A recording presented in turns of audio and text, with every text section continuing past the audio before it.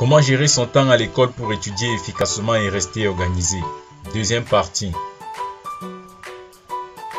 Vous avez déjà défriché et désherbé le chemin qui mène au sentier de la réussite en suivant tous les conseils importants prodigués dans la première partie de cette vidéo. Cependant, il ne suffit pas d'emprunter un chemin dégagé pour se retrouver à l'intérieur du sanctuaire. Il faut en plus de cela avoir la clé. Pour y parvenir, voici ce que vous devez faire. 8. Soyez astucieux lors de la prise des notes. Faites la différence entre les titres, les sous-titres et les argumentations. Utilisez des stylos de couleurs différentes pour organiser et mettre en évidence les points clés. 9. Ordonnez votre espace d'étude. Assurez-vous surtout que l'éclairage est suffisant pour vous éviter la fatigue due à l'accommodation visuelle. 10. Établissez un programme de travail pour la journée.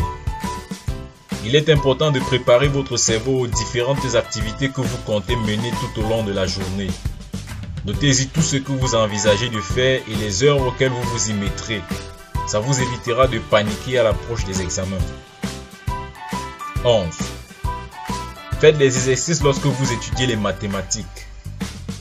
La mémorisation des formules et des théorèmes ne suffit pas pour cartonner en maths. Il faut s'exercer en mettant en pratique les formules dans la résolution des exercices. C'est la meilleure façon d'apprendre. 12. Ayez toujours une attitude positive et soyez déterminé.